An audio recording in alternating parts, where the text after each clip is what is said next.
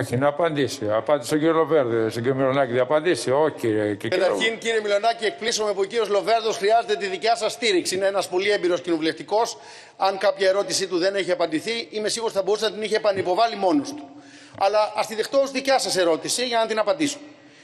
Από την αρχή της χρονιάς σας είπα συγκεκριμένα πόσοι έχουν φύγει από τη χώρα μας.